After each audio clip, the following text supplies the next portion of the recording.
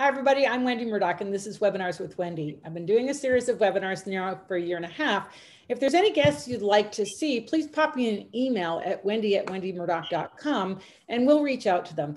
We don't always get a response from the suggestions that we get, but we do keep trying. So if there's somebody that you'd really like to see, just let us know. Today, my guest is Sara Hunt, and she's returning for tips and tricks on boot fitting, which I am so excited about because I am now struggling with figuring out what boots to get for my horse and and the tips and tricks for fitting hopefully is the, what's going to help me here.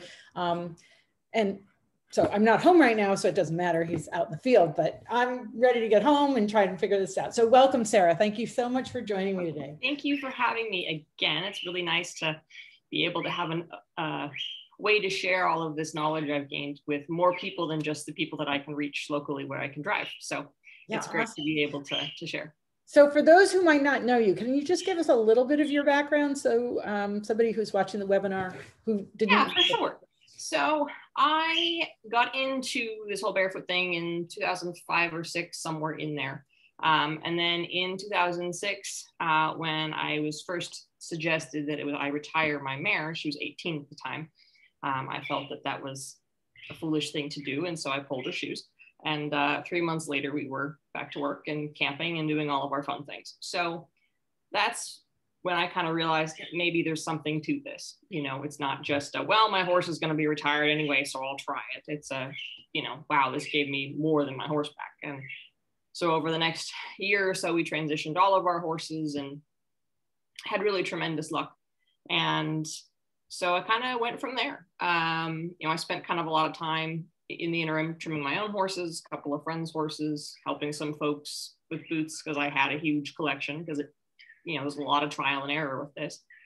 And um, then in 2017 or 18, um, you know, someone mentioned to me maybe I should charge people for doing all of that. um, and in 2018, I, you know, I decided, hey, I'm just going to do this and make it my business. And now I'm pretty much a full time trimmer and boot fitter, and I represent um, several different brands, and I will work with just about anything. So even though I don't necessarily represent, you know, um, Renegade or a few others, I do happily work with those boots.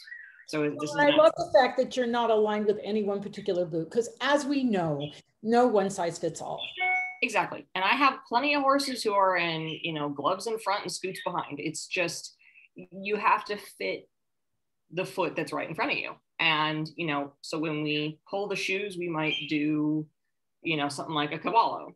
And then when they're fit and they're working, then we can take them and do a scoot. And because they have often, you know, different needs and different reasons need different boots. You know, it's the same thing. You have different shoes to go to the gym than you do to go hiking. They have different purposes and you know, yes, you could go to the gym in your hiking boots, but you'd be in, impeded by them. And you could go hiking in your gym shoes, but you'd have some issues too. And so, you know, figuring out the right boot for the situation is really important. Um, and that's why my I, I, immediately was no, I can't only represent one boot company. You know, even though Easy Care has over a dozen different models, because they're all just different. So the only way we can do it right is by making sure that we have a broad spectrum of being able to do everything. Yeah. So if you're coming in and watching this webinar and haven't watched the first one, please go back and watch Sara. I forgot what number it was. Your webinar on on. Yeah, it was the end of May, May 27th. If that helps date wise. Uh, actually, I might just go out and um, find it, and I can put it in the chat. I'll pop it up in the chat so everybody knows what the webinar is to go back and watch. I do have it posted in my uh, a link to it posted in my, on my Facebook business page as well. Yeah. Um, and you can always go to my channel and then search for someone's name. So if you're really uh, trying to find a specific one. So Sara Hunt's number 212, and this is 224. There you go, 212. Okay, so um, so we're not going to go into all of the ins and outs of boots themselves because we did that in the last one. We're going to talk about tips and tricks today in terms of fitting and using boots. Is that right? Great. My little keynote here. Are we seeing that? Not yet. Yeah, I got a screen share. I made you co-host, pretty sure. Oh, hang on. I always forget that part. Yep. Uh, share screen.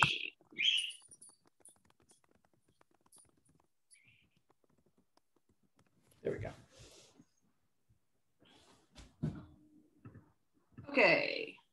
Are we good? Yeah, we're good. This is awesome. Okay. So yeah, um, we got our hoof boot tips and tricks, and we will. I have my little about me in here too. Um, so kind of a few more details if you're curious. I also have more stuff on my website, of course, spectrumequine.com. Um, but mostly, you know, anything helpful here besides my my chestnut mare's really delightful face in that photo is, um, you know, I've been doing boots and I've done boots as a performance horse rider with dressage horses and with trail and endurance and a, a, whole bunch of things. So, you know, having that variety of experience is also helpful, I think. Um, so folks ask me a lot, you know, well, but can you do this in hoof boots? And can you do this in hoof boots? And um, pretty much always that question is yes, with possibly the one exception of reining.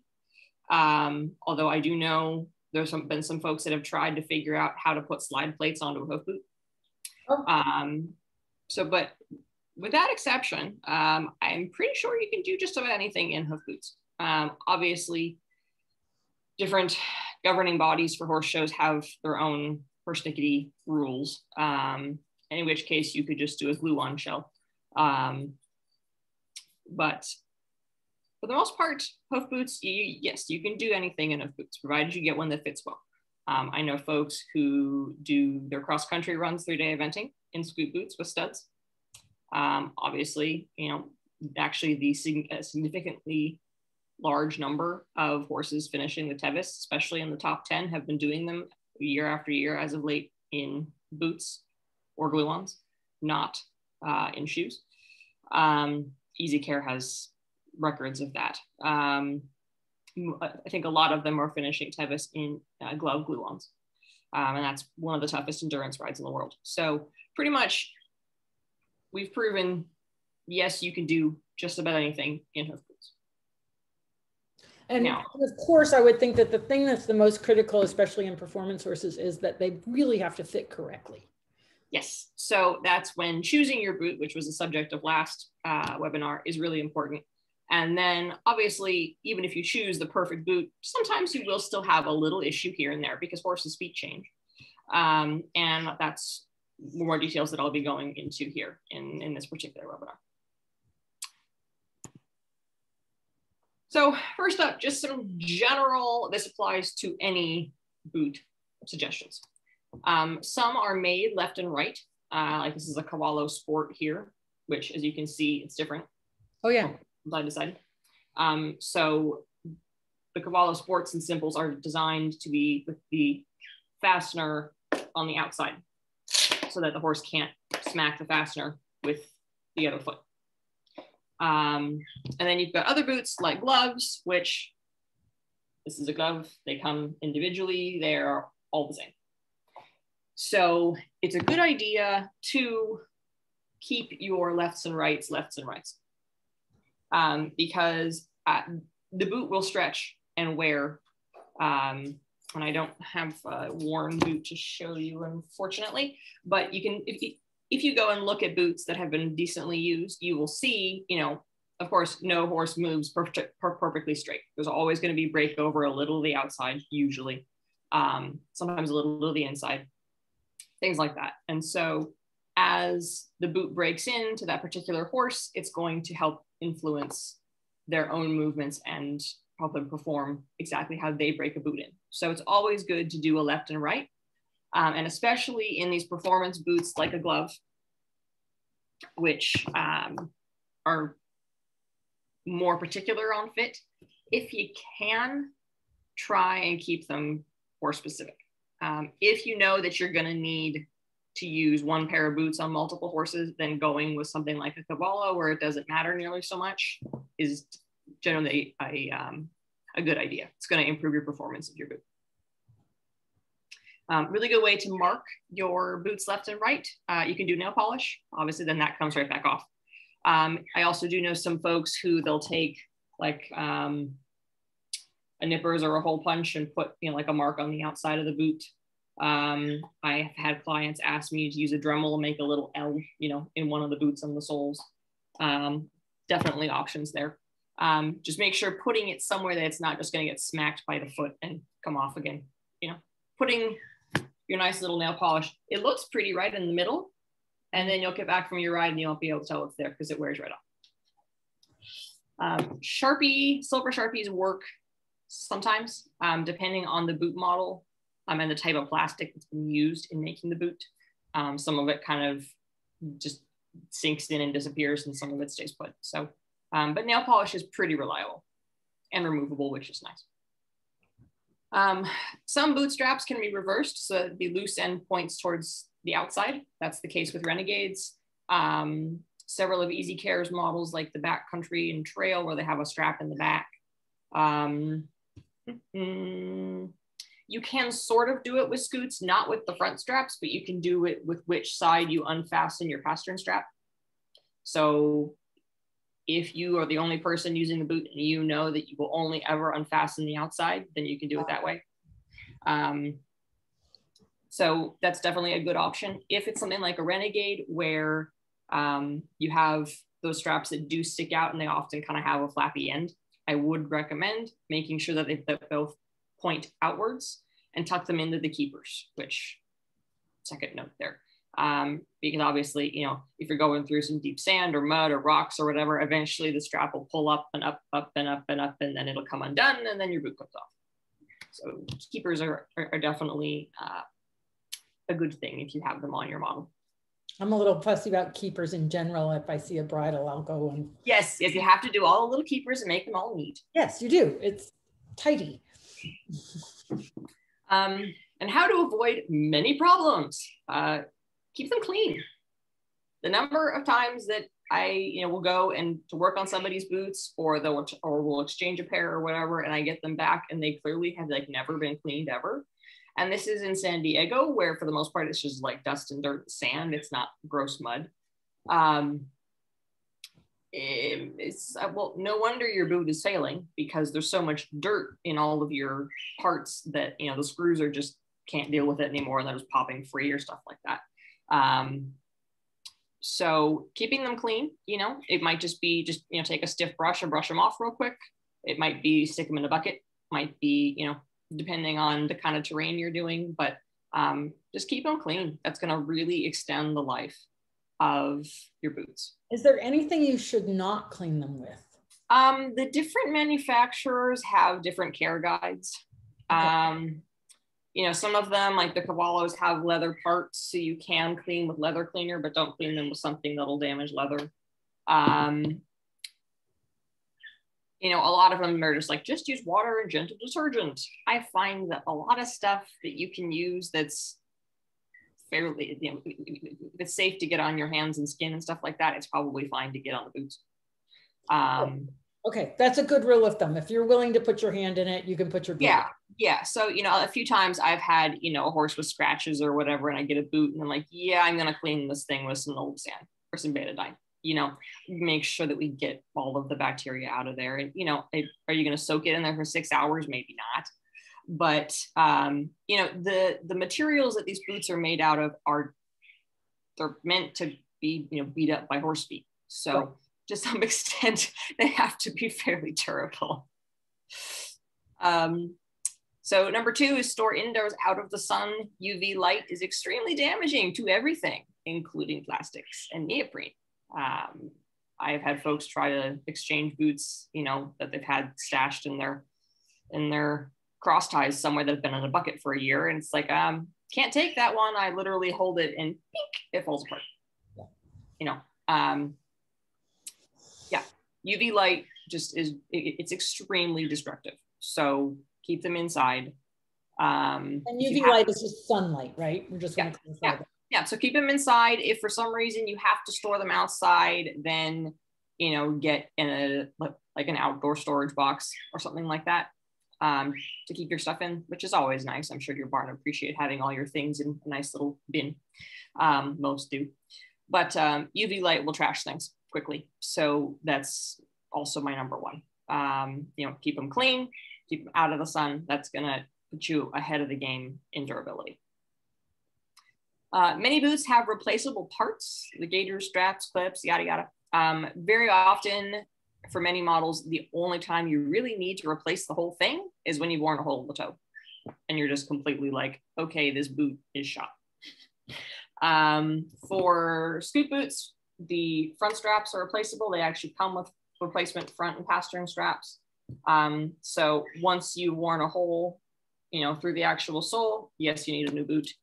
Um, for gloves, the gaiters are replaceable. No problem there. Um, this Cavallo model does not have any replaceable parts. This is the Sport. Um, the simple, the little Velcro straps on the side are replaceable. The same thing with the entry level boot, the Bigfoot boot, the cute little boot. Um, yeah, all of those straps are all replaceable. Um, so it's just the sport here that does not have any replaceable parts that I know of, at least looking at it. Um, well, and wearing out, that's going to depend on your surface, how much you the use. amount you use them, the kind of terrain you do, you know, are you riding on nice, you know, nice dirt or are you scrambling through, you know, rock and limestone? I mean, it really does make a difference. Uh, folks ask me a lot, how long will they last? I'm like, well, how much do you ride? how long will your tires last? 40,000 miles. Well, how long is that? How many miles a year do you drive? Right. And it, it, is it highway miles or is it going off roading? It's it's really things are that's a question that I can only give general ballparks, but um, they will last you longer than a pair of shoes will. That I can tell you, unless maybe if you're doing crazy endurance rides, in which case probably it's about the same or maybe a little. So, so just as an example, those horses doing the Tevis, they did not wear out their boots on the Tevis, did they? Um, my guess is those the, the glue-ons that they put on right before, they're probably pretty beat. I don't know how much longer they would really make it. Um, but that is 100 miles of the toughest stuff that there really is. Yeah, the terrain out there is crazy. Yeah, it's nuts.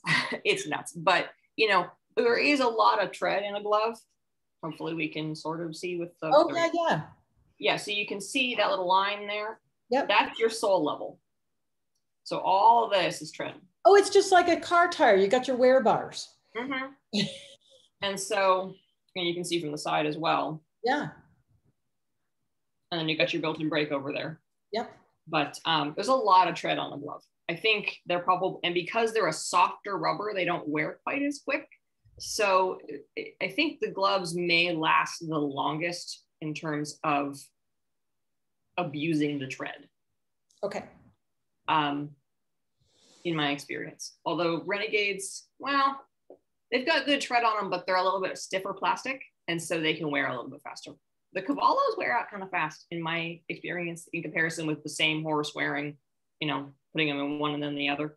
Um, but then we're back to fit in terms of what's going to work best on your horse. Exactly, exactly. So it, it doesn't matter if it's wearing out faster or less if you can't keep them on and you're losing them. Right. To be really practical about it. Um, anywho, so replaceable parts. Um, re- the Renegades are really awesome in that if you wear a hole in the toe of a Renegade, you can just order a new shell and reuse your captivator and hmm. strap. So you can actually order from them. You can even order one that's already got the cable pre-laced, so you don't have to do all the cable work yourself. You can just um, unscrew the captivator, put the new cable in, screw it back together, and then adjust. So, um, but that's the only boot that has quite that design, I think. Now, I don't have experience with every kind of boot on the market because if I did, I would have my entire garage full of boots more so than it already is.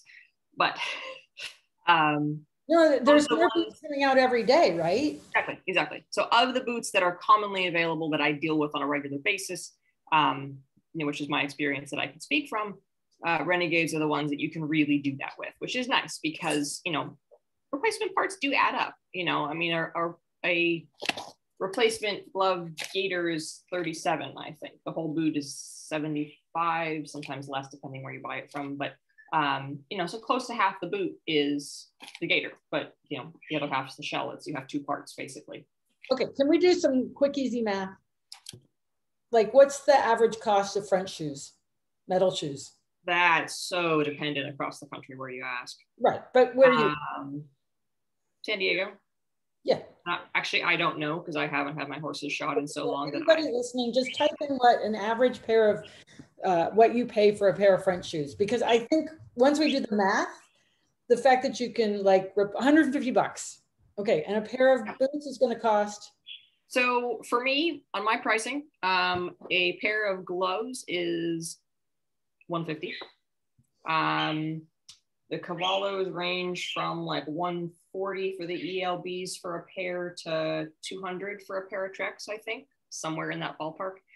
Right around the 180 to 200 mark is a fairly consistent spot for um, a lot of boots. So scoots are 200, uh, Cavallo Treks are somewhere in there. Uh, Renegades are about 200. Equine Fusions are 210 to 225. Um, so you're you're kind of right in that spot. Some of them are a little bit less. Um, the gloves, because there's just not a whole lot to them, um, are less expensive. Um, but other than that, once you get a boot that's got more parts and pieces and that kind of thing, then obviously the price goes up a little bit. But somewhere in that 200 spot. So usually the math comes out to you start saving money on the second or third trim versus shoes. Yeah, because you still have to pay for the trim, but yeah, so it's 50 bucks for your trim and you know so it's 250 your first go for your yeah. boots and trim. And so then one person's boots has lasted six to eight months, and she was putting on shoes at 150 bucks a pop every six weeks. Yeah. Yeah. At six to eight months. I mean, you must be doing a lot of work to go through them in six to eight months. Uh, yep. Six to eight months. Yeah. Cause I've, I've got boots, you know, going for couple of years easy. I mean, it, it just depends how much you use them. If you use them once a week for your trail ride, then they're going to last a long time. So, I mean, the bottom line is they're cost effective. Yes, absolutely. Absolutely. You know, and um, even the more expensive setups when you need, you know, the more expensive boots or the therapy boots or da da da da. I mean, some of these folks that I, I help and I get them transitioned out. I had a gal whose horse was in you know, handmade front shoes, and it was costing her close to 450 bucks a pop and the horse was also completely lame, not helpful. Um, you know, and so I came out and, you know, yes, the first couple of cycles were expensive because we were casting him to give him the support because his feet were so distorted we couldn't get him in boots of any kind. Um, and um, you know, so it was however much, you know, 150, 175 for the first couple of cycles. And then we put him in gloves. And now it's, you know, so okay, 150 for a pair of gloves. And now he is sound enough that he literally drags her around. She's having to go back to like retraining him how to behave himself at 20 something because he is now sound enough to work. Um, and we, you know, trim him every five weeks and he's a happy guy, you know? So it, it catches up really quick in terms of what things cost to pay for. Yep. Um, so on avoiding problems, checking your screws. Um, so a lot of boots have some, they either have stitching or screws, usually both. Um, and obviously very easy to come home and realize you lost a boot is because one of your screws came loose and you lost your gaiter and off you go. Uh, so ch check on them every so often, um, kind of part of your regular maintenance. Um, if you have one that just won't stay put, um, sometimes, like for a while, Easy Care and Scoot Boot were shipping their boots with Loctite in the screws. Mm -hmm and that's great until you need to replace a part. Mm. And then you end up having to like drill out the screw in order to get it out, and you end up destroying the boot trying to get the screws out because they're Loctite in. Um, so I don't often recommend Loctite, and if you do decide to use it, make sure you use the stuff that's not heat activated. Oh, okay. Yeah, because there's two kinds of Loctite. There's the blue and the red, and I think it's the red that is heat activated, and that stuff is it. You might as well just like you know weld it together. Um, so I recommend nail polish, frankly, because then if you need to get them undone, you can, but they're not just going to wiggle their own way loose. So um, if you know that you're going to probably need to replace a part, you know, don't lock it in so tight that you absolutely can't. Right. Um, and certain models need more maintenance than others. Um, if you've got, you know, little teeny holes that need to be kept free, uh, like such as on the uh, the Renegades, for the cable system so that it can move smoothly and not catch and wear, uh, then that's got to be kept clean. So you need to keep keep those really clean. Uh, certain models like scoots and gloves, it's it's there's not a whole lot of moving parts to keep clean. So Um, different models have different maintenance issues. So looking here at some common boot accessories, um, gaiters, various straps, pads, and shims. Um, so the uh, two funny looking strappy bits we have here, those both are Easy Boot Fury accessories. So um, they replace the back of the boot here, the strap with that uh, different neoprene padding. And then you can also change the front strap if you're having uh, security issues with that wide space. Okay. So just examples of some of the more strange options. Um, and then those are the endurance gaiters, which I've got one here and I will show you in a little bit when we get to that part. Okay. And those are scoot boot endurance gaiters. Um, Easy Care made a gaiter that was very similar. I have not been able to get them for a while, so I don't know if they keep they still making them. They were technically for the BOA boot, which is a discontinued model. Um, but the design's really nice because it works with like almost every boot model. So I use it a lot for various needs, not just in scoot boots. So items for your general boot stuff kit.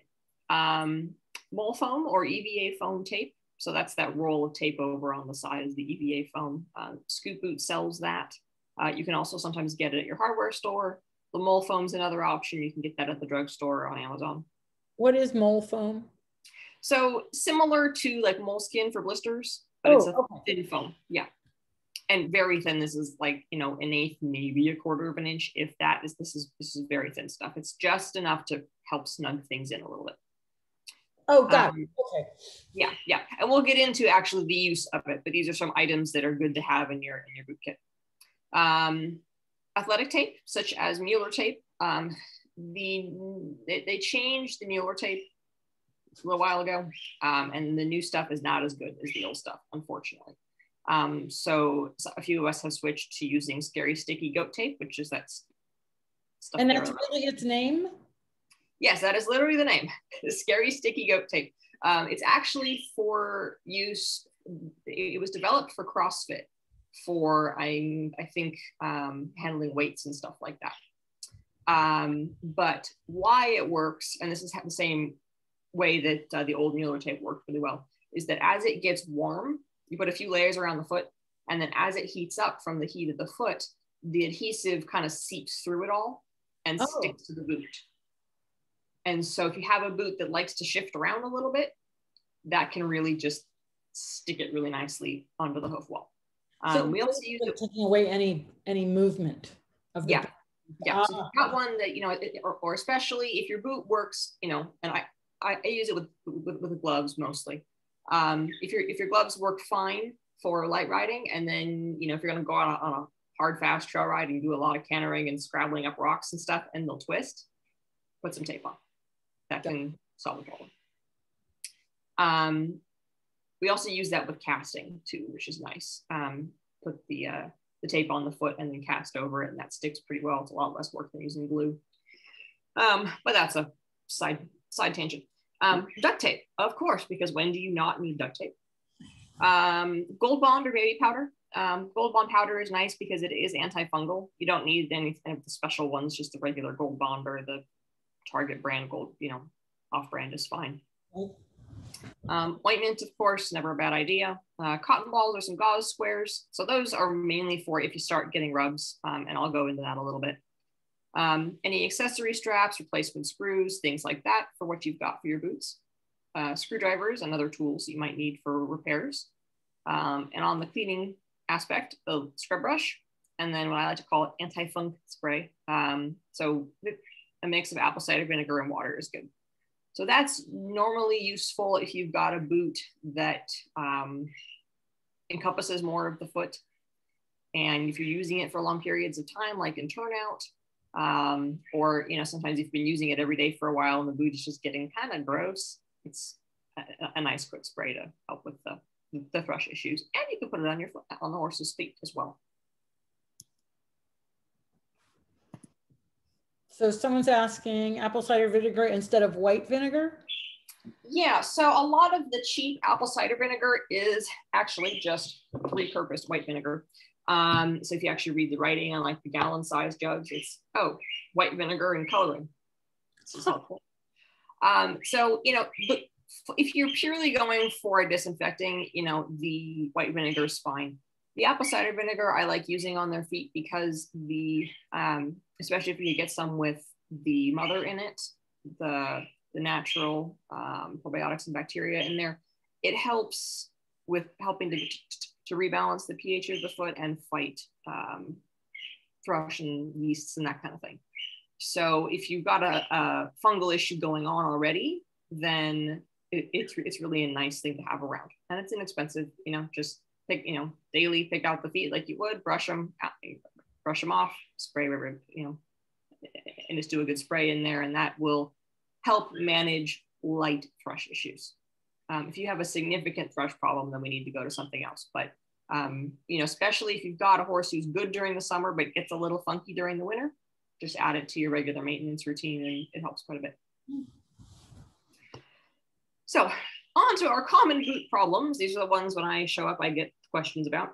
Um, heel bulb and pastern rubs are kind of the number one um, problems. And uh, in each of these, I have a slide on, so we'll go into that. Okay. Um, twisting, uh, very often too, that, you know, a little bit of twist can happen. And if as long as you're not having other problems, not necessarily a deal breaker. Um, very often the boot will twist back. So, okay. Um, this especially can happen on the gaited horses are horrible. For they move in such a way and they very often have torque to how they get their foot off the ground and there's only so much you can do.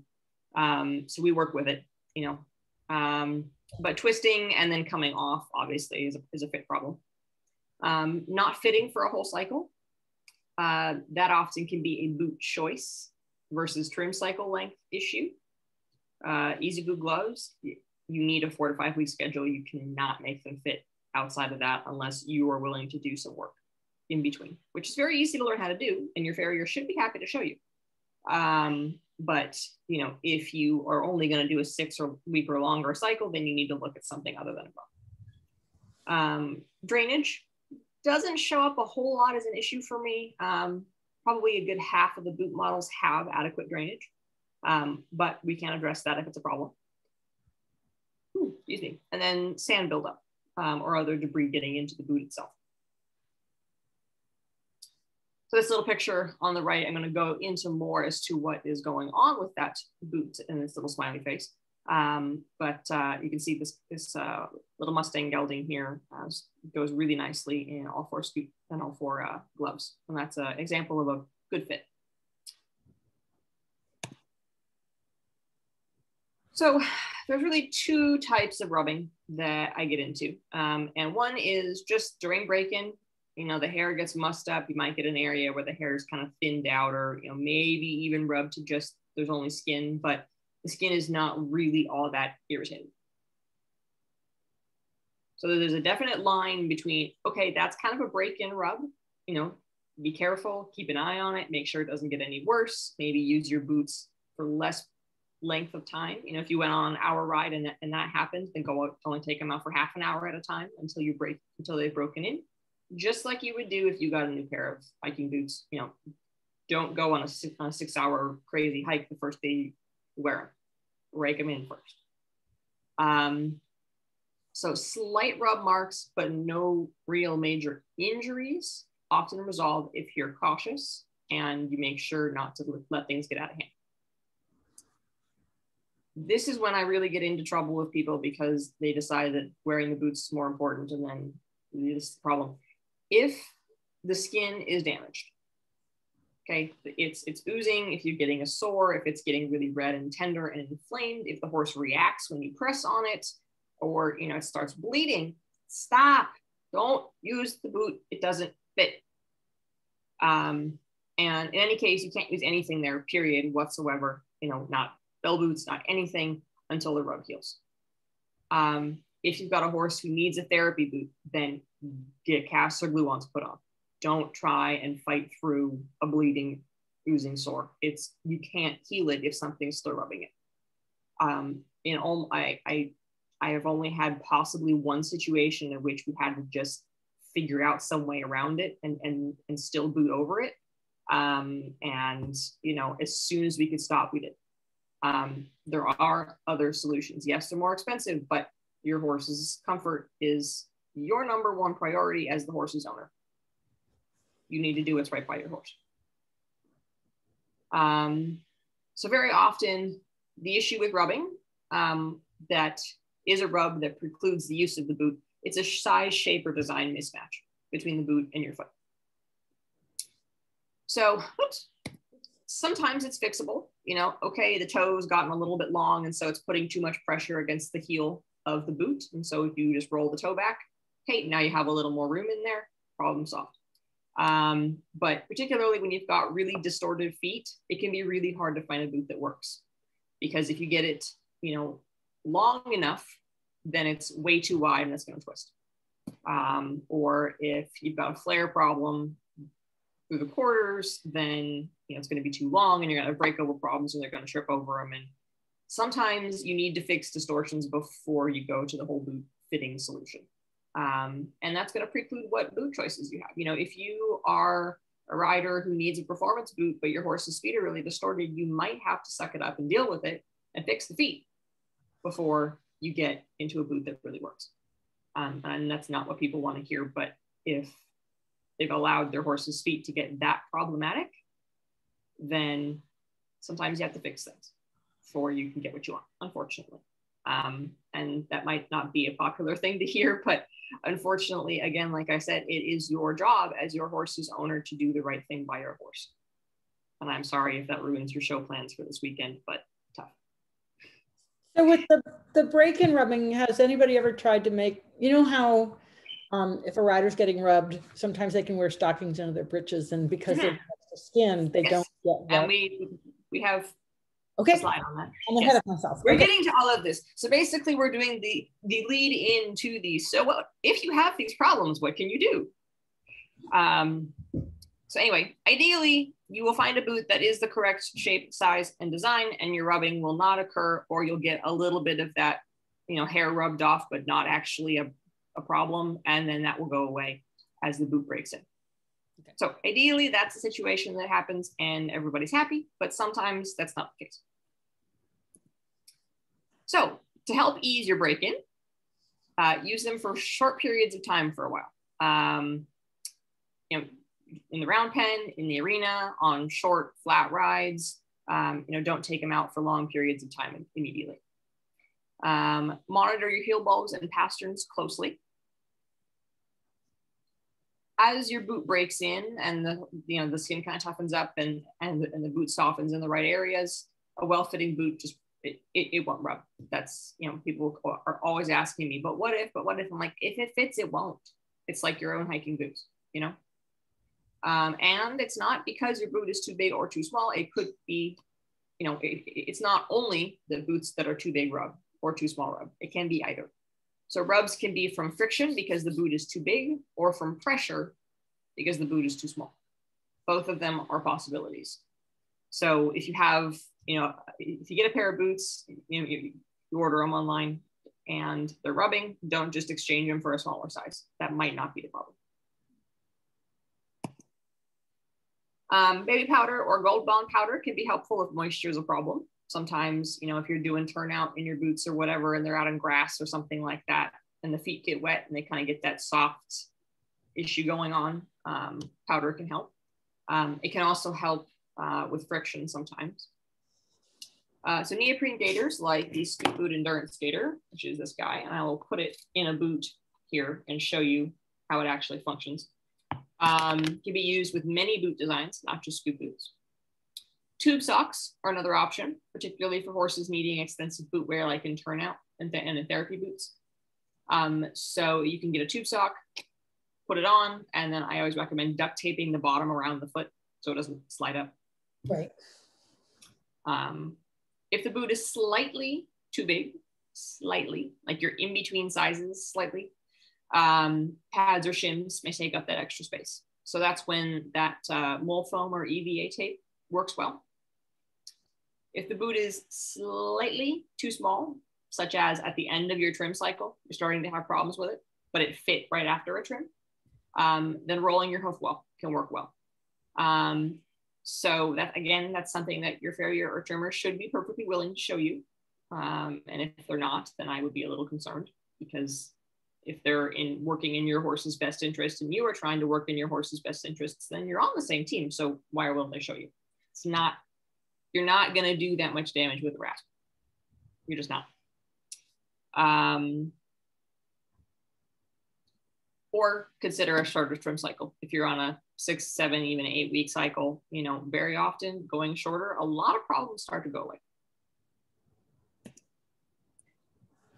So again, twisting and twisting can lead to rubbing. Obviously, if the boot twists, it's now putting pressure on a different spot that it shouldn't be. Um, usually it's a boot that is too loose or too wide. Twisting hind boots is a common problem. It's due to the spade shape of a healthy hind foot. Um, especially, you know, we'll have boots that fit well, but then when you're going up a hill and they're digging in with those hind toes to climb a hill, the boot can twist. Um, so you can do a little tape shim at 10 o'clock and 2 o'clock. So on either side of the toe, basically. Uh, you can use a slim model if that boot comes in a slim and you're using a regular. You can heat fit the toe area. We're going to go into that. Um, and you can just put a, if you find that, you know, you need a different model on fronts and hinds, that's totally fine. You do not have to use the same boot around. Um, so if it's a minor issue, you can, you can resolve it with side shims. Front shimming should be done thoughtfully because it will extend the breakover of your boot. So um, by breakover, if this is your foot here, trying to figure out, here we go. You are, you're good there. So you can see this angle, maybe. Yep. Yeah, so this is where the built-in breakover for the boot is on the case of a glove. So if the glove fits well, the tip of the foot is gonna be here, roughly.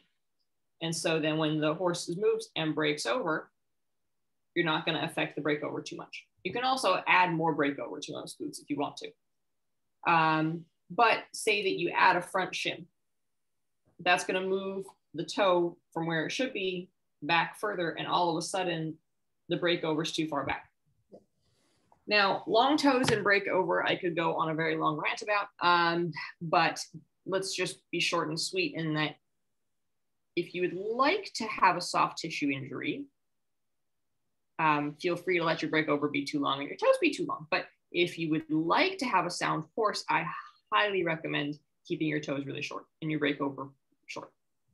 Um, you can also think of it if you want a personal feeling of it. Um, if you look at your own fingernails and you see, okay, now if you took just the nail, not your whole fingertip, but just the nail, and tried to open a soda can with just the nail, that feeling is not comfortable. Kind of the same thought when you've got wall that is too long that is pulling on the lamina like that. It's not comfortable. Um, very often I'll walk up to a horse who's overgrown, whack off a bunch of, of extra flared wall, and they go and they walk off sound and do nothing else long toes especially are very uncomfortable and cause soreness problems and this is why i'm very hesitant ever to do toe shims in a boot. Um, scoot boots a fish uh, shim that they make is a toe shim and i don't even carry them because i just don't like using them. If i need to do a toe shim for some reason then i'll make it with tape but i i don't put toe shims in because extending breakover is a huge problem especially in, in sport horses. Um, soapbox over. um, so for renegades, random, but if your renegades are tight, fastened too tightly, they often will twist. Oh. So if they are the correct fit and everything fits nicely, but you're, you're getting off and going, why are they twisting just a little bit? They need space for that heel mechanism, the cable mechanism for the heel captivator to give and take a little bit as the boot moves. So what will happen is if they're too tight, the whole boot will shift, but it can't shift back and recenter itself. Mm. So you have to have a teeny bit of give in that captivator cable so that the boot can do its shift and shift back. I have magically fixed a good number of renegades this way. Interesting. Yeah, it's not something people think of as having to loosen. Just, just like an eighth of an, it's the teeniest amount. So if you are cranking down your renegades, just snug, but don't crank, and your problems may disappear. So fit changes over cycle. Uh, so like we said, some boots accommodate changes better than others. Uh, if you need a performance boot that will accommodate changes, then a scoot boot's really your only choice. Um, Renegade can sometimes accommodate changes depending which direction they are. Uh, a short trim cycle is important with boots. You can't let your horse go as long and then you go, oh, they need a trim. I'll call my farrier and he'll be here in two weeks. No, you need a, regular cycle or you need to be able to do the maintenance work yourself or both frankly. Um, typically, the problem ends up just being excess wall length and chips. Um, you know, the chipping can catch on the edges of the boot when you go to put the boot on. Uh, so learning to roll the walls yourself, again, it's not hard. It's a great skill to have. Um, you know, I, I, every client that I have taught, even if they don't do it often, they say, "Hey, I'm so glad you showed me that because you blew a huge chip three days before you were going to come, and I, I had a big trail ride planned and I couldn't get the boot on." And so I wrapped the chip back and the boot went on and we had a great ride. Nice. Know, so it's it's a skill that is really useful to have and I recommend everybody learn. Uh, drainage questions. Um, so many boots have good to excellent drainage. Uh, scoot boots, Cavallos, Renegades. Um, Cavallos have, I don't know if you'll be able to see this, that little hole yeah. right there on the sides. Yeah, so they've got one of the, uh, one drainage hole on each side. Okay. Um, scoot boots, obviously. Lots of them. I can stick my fingers in them all over the place. Uh, when I actually do show and tell, I'll turn off the background so that it doesn't keep doing that. Um, some are intended to fit really snugly so that you just don't get very much water or debris in them. Um, so gloves, for example. So adding drain holes though is really easy with a power drill. Um, shouldn't affect the use of your boot, will void your warranty. Um, about a half inch is a good size. You won't get too much debris coming in, but your water and any you know little bits of sand should be able to get out. But obviously, if you do put drainage holes in, you will have more sand in the boot. Um, so, you know, I usually recommend try them several times in the kind of terrain that you're worried about first and see if you actually need to do it.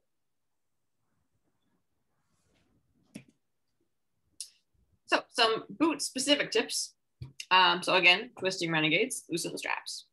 Uh, you can, if you've got a horse with a weird foot, um, very often this will happen if you've got really pointy heel bulbs or if you have like a, like a draft cross with huge heel bulbs, something like that. You can combine different size and styles of renegade shells and captivators. So the Viper and Classic Renegade um, shells, so the part that actually goes on the hoof, uh, are different shapes and the captivators that go over the heels are different shapes. So depending if you're having a fit problem or you're just not sure or you know your horse has weird feet, um, just reach out to them with pictures and stuff and they will help you combine um, different bits and pieces to get the right fit. You can also change out the Velcro straps that are foxtail traps um, for biothane or leather dog collars. That's, Um, Hmm? That's a really good one because that can be really unpleasant. yes, sitting there, you're out camping, you had a wonderful ride, and you get to spend all evening with tweezers pulling foxtails out of the Velcro. It's delightful. Um, very EasyBoot fix. Just take off the Velcro and put on the straps instead. Um, for easy to gloves that work like 90% of the time, but you have those occasional moments where you're like, where did my boot go? Um, power straps. Um, a good hack on these, if you've got a foot that you need to use a power strap, but the power strap makes it too hard for you to get on, is you can use scoot boot front straps or at least their little knob hardware, um, which. So is a power strap specific to that boot? What's a power yes. strap? So yeah, so the power strap is what Easy Care calls it and they sell them that way. Okay. Um, so the little knob mechanism I'm talking about is being able to just put these on and off after they're on the foot, which is actually easier than when they're not on the foot at all. there we go. Um, versus having to have the power strap be fastened with a screw on both sides all the time, which is how they're designed.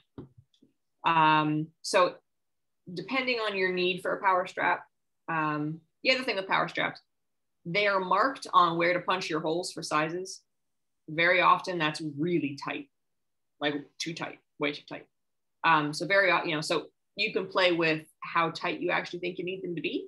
If your boot works really well, except for certain circumstances, you probably don't need them as tight as the they're marked. Um, so, you know, again, figuring doing a little DIY is necessary with boots unless you can find someone who knows all the tricks already. Right. Um, but anyway, you can use scoot boot front straps instead of easy care power straps, or you can use little knob type hardware that scoot boot does um, on your power straps so that you can just snap them shut once they're already on the foot. Um, I have a picture later of what the power straps do, but they hold, so they fasten on either side of the V in front. Okay.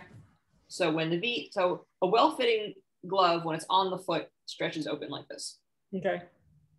But if you, if the, the foot is not quite large enough to pull this open, the power strap snugs it down so it can only open so far. Oh, okay. Okay. So, say you're scrambling up rocks, if the boot would stay on for flat work, but when you go trail riding, it likes to twist or pop or, or shift, then putting on the power strap will keep it from opening this far, say, when you're going through that terrain and the boot and the and, and the boot coming off. And it'll just let it stretch a little bit, but it won't hold, it won't let it open all the way. So they just restrain that top area. And I've got a picture of it later. Um, as we mentioned, the athletic tape works really well for, for gloves. Um, and heat fitting, um, I actually have a whole slide on glove mods, so we'll, we'll get into that. Um, if your scoot boot front straps are too tight, you know, no, don't think about changing sizes. If the boot fits otherwise, use a pair of pliers or a hoof pick to get them closed. Also, if they're new and they're tight, they will stretch. Also, if they're brand new and you can't get them fastened, they're slippery from the factory. So just patience for a few rides and the dust will take, take care of that problem for you. Um, mild quarter flares, scoot boots are scoot will, I don't think there's, they'll ever say that flare quarter flares are great for scoots, except your quarter flare sticks out right here and the boot will never turn and never come off so if I have a foot with quarter flares that I can put in a scoot, I put them in a scoot by default because I know that that owner will be very happy with the performance. Now, mild quarter flares, not huge, massive quarter flares, but mild quarter flares. And it's a better idea to just fix the quarter flare, but um, so boot specific tips. Um, this is where your mole foam and duct tape come in handy. Um, and I tried to get my own photo of this and it did not come out nearly as well because my duct tape was not blue. So I used Karen's. Thank you, Karen. She's over at Timberline Tack. Um, very, very knowledgeable scoot boot dealer. Um, so these are the DIY gaiters. You put your, you could cut your little pieces of foam, wrap them around the heel bulb straps or the uh, side vents, which you can kind of see down by her fingers there. Um, and then you wrap them in duct tape so they stay on. So if you have a weird spot that the gator doesn't cover that you need uh, protected, if you know you you wear out your gaiters really quickly and you want to do this instead, uh, if your horse like mine has a neoprene allergy, oh, um, yeah, fun. Can't use anything synthetic on her. It's great. Um, then this works very well for doing your scoot boot gaiters and uh, shims and that kind of thing. So, easy EasyBoot glove modifications in particular. Um, so, gloves, let me just preface this. He's down, this link's down at the bottom, but Pete Ramey is the master of glove modifications. Um, all ideas are from him, pretty much. um, so, do go to his website and read, well, read all his articles because they're wonderful, but uh, specifically, there's one, I think it's at the top right now, actually, that's modifications of gloves and glue on shells. Um, so what can't you do with gloves? You can heat fit, you can toe slot, you can grind off your breakover, you can change it if you've got a horse who moves funny. Uh, you can add buckles. You can do the power straps, which are those blue straps there. Mm-hmm. Um, and those power straps have been done with the scoot boot knobs so that you can take them off, put the boot on, put them back on. Um, you can modify your traction. So if you've got, uh, you know, a horse who goes a lot on grass and you need more concavity so that they can get better grip. That's uh, that picture there with the two boots side by side. You can see the one's been ground out and that one on the uh, right-hand side of that picture is a stock boot. Um, you can wedge them by grinding down the front. You can rocker them, give yourself a, a, a, better heel landing for a horse that likes to land really hard on their heels and you want to soften that landing. Uh, there's so much you can do with gloves. Um, so they are a fantastic boot. They're honestly my favorite boot for all of these options that they can give you. But obviously, there's quite a bit of DIY that goes on here. Um, and everything voids your warranty, but that's usually not what most people are worried about. Um, so that first top photo, you can see how bulged out that toe is. That horse um, had quite a bit of toe flare. So that was after I rasped back as much toe flare as I was comfortable doing. So you can see here's the default. Yeah. And you can compare it to that photo with how much you're able to heat up and move that toe. And I could have easily gone further. I just got the heel to where I was okay with it. Um, and those went on glue-ons. You can do a boot that way. Um, so I could have done that and then popped, I probably would have done a little bit more to get the heel a little further back for better gaiter um, attachment and then popped a gaiter on it and you could have had a boot like that. Um, that's a great option for um, horses who are you know, in turnout or starting some some light exercise.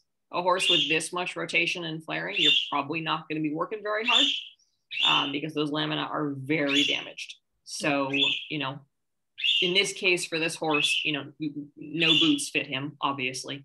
Um, so we ended up, and he was so underrun that casting was just not working for him. He was he was pulling the casts and turnout.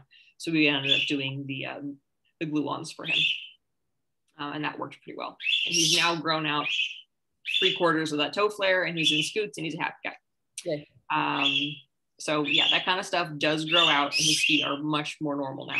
But um, in the beginning, that's that's what we had to do. Um, and I've done several horses. You know, whenever I do glove glue-ons, I usually heat fit because that's going to give me the best fit and not these great big gaps that I have to sh- show full of glue um, which never works as well as you think it's going to. Um, toe slotting is another really, really awesome one. Um, I do that with a Dremel with a particular bit, which I forget which one it is, but it's listed in Pete's article.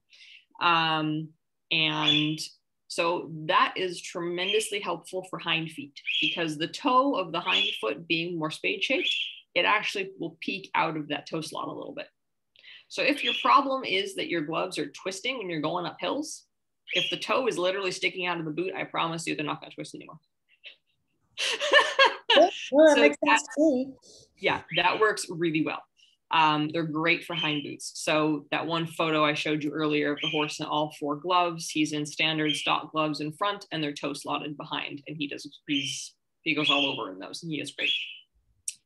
Um, that's the traction modification you can see there in that photo, basically just dremeling out the inside half. Um, that boot's also been rockered a little bit in the heel, so you can see how the, the heel's been rasped a little bit and also increase the flexibility through the heel by increasing um, the, uh, there's a little bit of a divot to mimic the, the frog in the heel area of the boot but you can increase that to add more flexibility. So many options. Um, so boots, um, using gloves as boots or glue-ons is a great, great option for us professionals who encounter really weird feet all the time. Um, but this is definitely something that can be a little daunting and a little expensive while you practice um, for the average owner.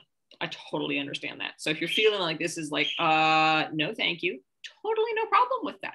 But if you have a horse who you just cannot figure it out with, um, you know, this article will, he's he discusses all this kind of stuff. Um, and the gloves are really, really awesome for their flexibility to adapt.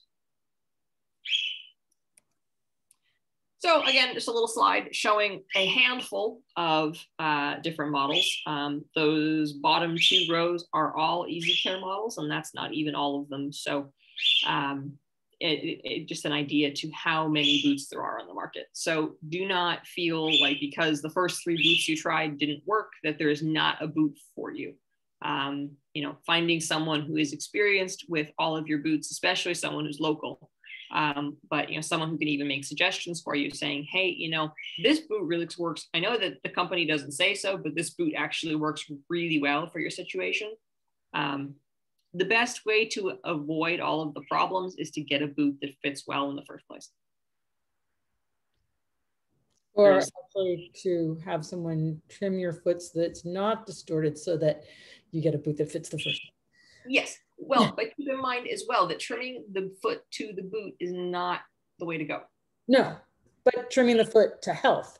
Yes, to getting the foot healthy so that you can get a normal foot into a normal boot is is obviously our end goal.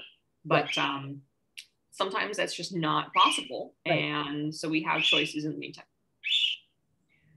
Okay, so again, you know, a little bit on, on how I can help you. I'm happy to work remotely. Um, obviously, if you're in the Southern California area, San Diego, Riverside counties, I may be able to come and help you, but um, you can find me online. Um, I'm always down to chat about boots and horses and feet, um, kind of an obsession, which is sort of why I have this job. Um, so do you do like phone consults with videos and photos? Yeah, no, I'll happily do, you know, photos and that kind of thing. Um, you know, make, make suggestions. It's it's tricky to fit boots off of measurements alone. Right. Um, so sometimes what we end up doing is like we'll ship you two pairs and you figure out which one works better and send the other one back. Um, or we might say, okay, well now we've narrowed it down to models that are going to work for you. Try and find somebody local in your area to come and do a fitting with fit kits. So someone's um, asking if you're familiar with fusions or flex boots. Fusions. I am a dealer for Equine Fusion. Um, flex boots, I have not, I have a client in them, but I haven't really had much use with them. The problem here is that uh, in San Diego, we're a desert. We have rock for trails and they just wear out really fast, really, really fast. All the folks at local that I know have tried them have said they just wear out too fast to be feasible. Um, and they've gone back to gloves or scoots or something like that. Um, fusions, um, my favorite model is the active. Um, I am having quite a bit of trouble with the trekking, which I love the design, I love the fit, but it collects sand like nobody's business, and then they come off. So I've had two or three clients all have the same problem, which is really, really frustrating because they're a really nice boot. Um, but the Active does not have that problem. I have horses in, you know, in turnout for, I mean, they've been going 20 hours a day turnout for six months in a pair of actives. And going great in them with cloud uh, pads inside. Um, I love, love the equine fusion soles. Um, they're great for horses who are sensitive, uh, rehabbing, thin soled, um, because they're thick enough and durable enough, but also flexible enough, and they take the concussion. Um, so I really do like the Equine Fusion Active for that. The recovery is great for distorted feet, but it's not a riding boot. Um, so I have a few things here we can take a look at. Sure. A quick, you know, thank you to everyone who gave me pictures to use. Um, okay, so let's pop back from screen sharing. Here. Up at the top. There, there we go. go. Okay. Um, turn off my background. Doo -doo. Okay, so um, the Scoot Boot Endurance Gaiter, um, which I use in many different boots. So it's not just for Scoot. So you've got the strap that goes around the pastern and Velcros. And then you've got the base, which goes into the boot and they stand on. Oh, okay. Um, so in a Scoot boot,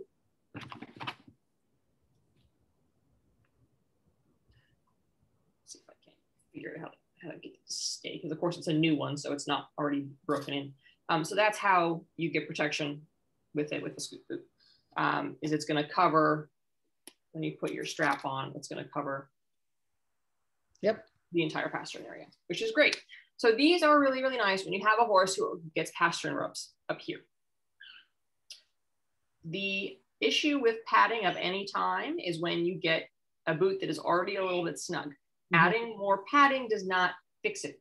So if you have, and again, logical conclusion, if you're wearing your own shoes and hey, they're a little bit tight, are you going to put thicker socks on? No. Which is no, we're going to put thinner socks on, but if we can't do that with a horse, then you're going to yeah. find something that fits better. Yeah. Um, so, but this is, you know, good if you have a horse who, you know, is in between sizes and he's fine the last couple of weeks of your cycle, but the first week of a trim, the boot's a little too big and it, and it moves around too much or whatever. Um, okay, then pop your gaiter in, have a nice ride, and then the rest of your time, you know, you don't need to worry about it. Um, for scoot boots specifically, mud straps are also handy for that. Um, but here's another example of you know, the, the Easy Care Fury is actually a similar design to scoots in certain ways. Um, but here is how that gaiter works in the Fury. So again, you can see how it covers up those heel bulb areas where you might get rubs. And of course, all the boots are all black, and this is not making it easier to see. But, and then here is that gaiter in a cavallo. So it's very handy. Yes, this design works great for a lot of uses. So that gaiter design works in it's not going to work in a glove, as you can tell, because you're just looking at the same area. But any design where, you know, with cavallos, I very often will get rubs right here. Right. Yeah. On that collar for a horse who's low heeled. Yep. Um, if your horse is low heeled, cavallos are a problem. If your horse is too high heeled, cavallos can be a problem because they will run into this little stiff spot right here. Um, but we often can make them work. If they're too low, you put a smidge bit of a wedge in there. Um, if they're too high, well, hopefully you're working on that anyway.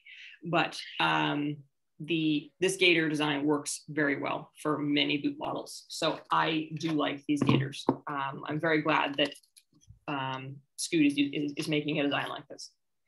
Um, so that gaiter is a really helpful tool if you have issues. Um, tube socks, again, like I mentioned, put your sock over the leg tape down at the bottom so it doesn't slide up. So one of my other tricks, and I was trying to figure out if I had time to get this photographed for this webinar, and I just could not make it happen. Um, and this works really well with gloves. So hopefully I can figure out a way to show you without actual, ah, I do have tape, hang on one second, let me grab it. It's not even black.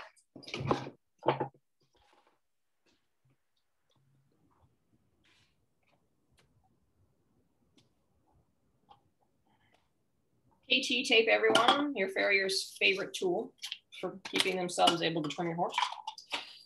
Okay, so this is, you know, I, I do this with duct tape um, because, and I've tried it with Elastikon, I've tried it with athletic tape. It works best with duct tape. And I think because the duct tape is slippery and smooth. Um, so pretend this is your horse's foot, not a boot, but you know, shape is correct and the same. Um, so if you're getting a rub area, on the heel bulb. So in this case, it would be right kind of at the points of the heel bulb here. And I, I do find that this happens some with gloves, you know, on a horse who's a little underrun or something like that. It's often when I'll use this, or if you're going to be putting a lot of miles on, you know, if you're going camping for the weekend and all of a sudden you're tripling your mileage mm-hmm. in, you know, like you're doing way longer rides three or four days in a row, you know, chances are you're going to have a little bit of rubbing. Um, if you've done it before and you know that it's not catastrophic, it's just the hair off and your horse doesn't isn't bothered by it, then you may not have to worry about it. But if you've got a, a horse with really sensitive skin, or you know, um, I had to do with someone of mine not too long ago. He'd blown an abscess out the heel bulb, so he had a really tender spot without any hair on it anyway. Um, things like that.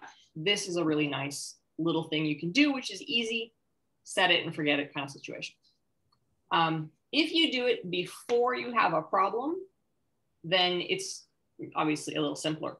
Um, but if you do it when you just gotten the hair off, but no further Um, you know, so what we're basically going to do is we're going to cover with our duct tape the heel bulb area. So, of course, you've got tape on hair, which right. is always a question. Now, note we're not wrapping all the way around because you do not want something that is not stretchy.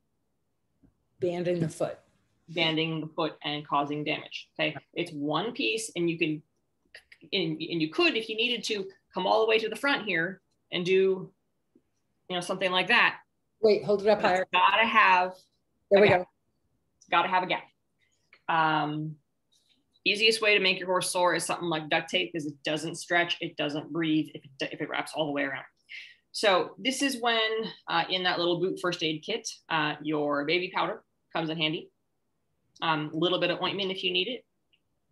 If you abs if the rub got really bad on you, uh, this is when your cotton or your gauze will work.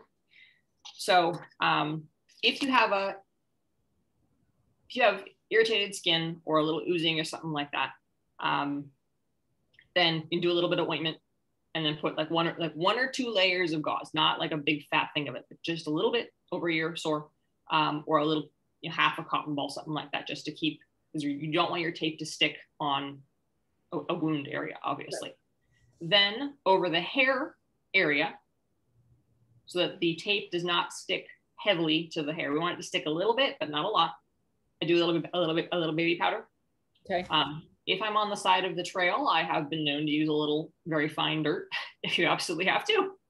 Because sometimes you're, you know, out for six hours and you take your boots off to check them in the middle of the day and you go, oh crap, you know, but you have duct tape in your saddlebag.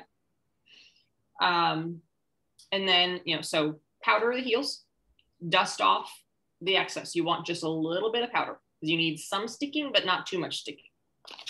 Make sure that your hoof wall where you're going to anchor your tape is pretty solid and clean enough that it'll anchor well. And carefully, you're not going to tighten it and pull it over. You're just going to lay it over and anchor it on both sides on the hoof wall and cover like that. And you're going to leave it there until it starts falling off. Don't rip it off later.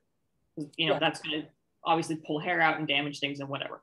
So if you, you know, you, you do this wrap, and basically what we're trying to do is provide just enough so that the boot will slide on the duct tape right. instead of rub. And so this works for friction. So if you know that your horse can be prone to having a little bit of rubbing going on and you're going to do a longer ride, then put some duct tape on before you go. You know, if you're on a three day weekend, if you do it, you, you, you may be able to do it the first day and not have to do, and just take it off at the end. Um, and you do have to put your boot on carefully over it because if you yeah, just shove it on, it'll pull the tape. It'll pull it up. Yeah, okay. Um, so if you, do have to kind of carefully get your boot on over it, but it does work well. Um, I use it many times myself. Like I said, you know, on the side of a trail, you check your boots and go, oh, this is going to be a bloody mess if I wait until I get home. Right.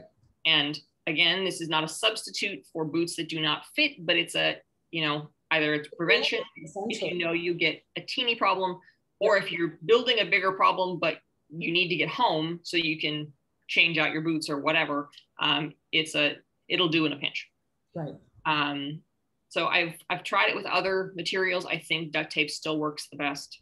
Um, if you've got really good duct tape like gorilla tape that really works awesome.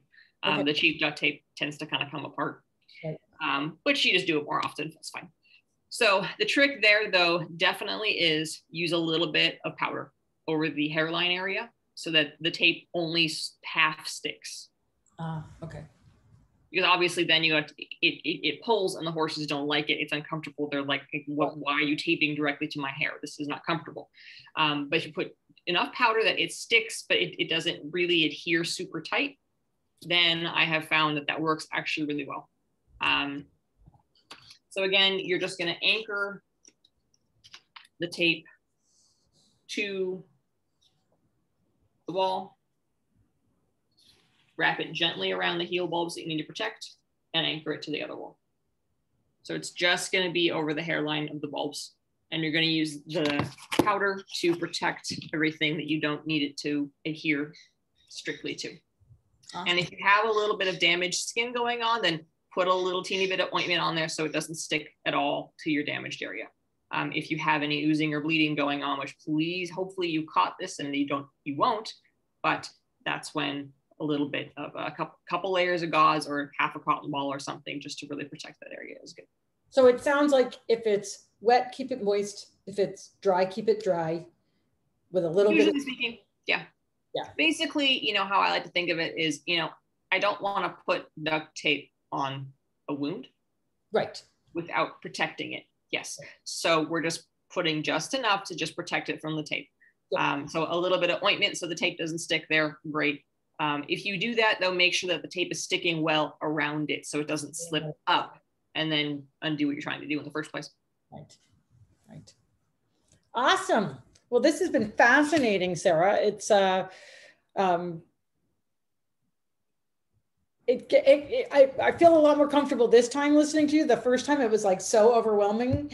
that, that first webinar was there is so much to go over and just doing it in you know an Yeah. hour or less is just Exactly.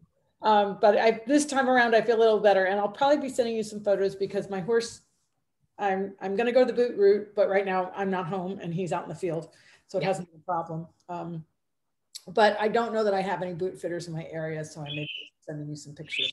you know it's interesting a number of trimmers while they don't necessarily advertise themselves as fitters you know um, a lot of folks are easy care dealers um, and they use because they do glue-ons and stuff through easy care but they don't necessarily sell the products per se but they might have a fit kit Oh, okay. So it's worth checking in my neighborhood.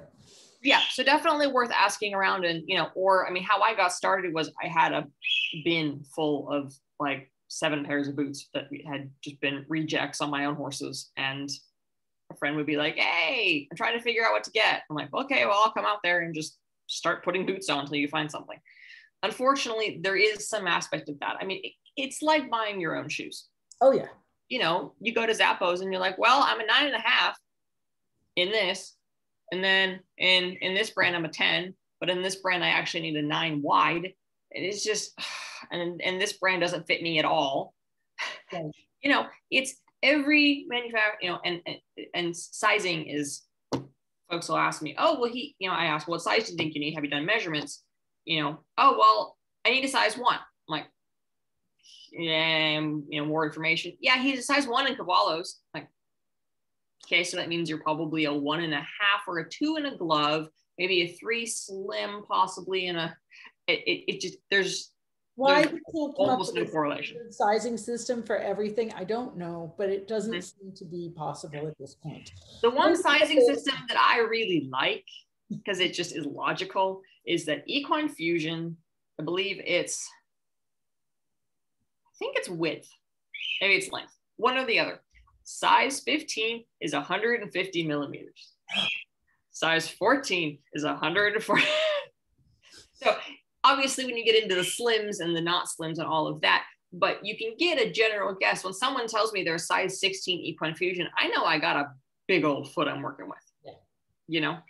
Now, of course, on the flip side, you've got Soft Ride whose sizes are backwards. Small numbers are big feet, I think. So it's just uh, confusing. You know- you need size charts. You need size charts. And that will only even tell you, okay, here's your ballpark two or three sizes. You need to try them all on. Right. Um, so boot fitting from a distance is is tough and it's something that takes a lot of practice. Um, you know, if you're really interested in scoot Oh, boots and you're doing Anna's asking if there's any standardization. oh, And the no, answer is not at all. Not at all. Nope, not at all. Sometimes within one company, they might have some. Um, but I suspect that's mostly because they use the same molds to create the boots more so than out of intention. Um, yeah, so fit kits are really great. You know, I, I mentioned in that one picture of the uh, the scoot boots, um, you know, with the the homemade gaiters. Um, that was from Karen Cox over at Timberline Tack, and a, a, frankly, I don't even try just to fit my own scoot boots remotely. I just send it to her because she has a great, great way that she's set up to do it. um, she'll actually send you multiple pairs of boots to fit. Oh, wow. Yeah. And you can try them and you can a little bit and, and actually, yeah. So she's has a really great system. So, you know, definitely recommend working with her um, if you are not able to work with someone local and you need to do uh, scoot boots remotely. Great. Well, Sara, I want to thank you so much. Again, this has been really informative. It's great to see you again, and thank you for coming back. Oh, well, thank you for inviting me. Yeah. It's always fun. Yep. And so everybody just remember you can find this and all the webinars on the Surefoot Equine YouTube channel. Tomorrow we have Sarah Schlote coming back for Equusoma part two. If you have not watched part one, which was pre-recorded and put up on the YouTube channel, please go and watch that because we're gonna pick up from there and keep on going. Her work is fascinating and it's really applicable to working with your horse and making him feel safe. So thank you, Sara, so much. For, it's great to see you. I really appreciate it. Right. Have a great day. Bye. You too, everyone.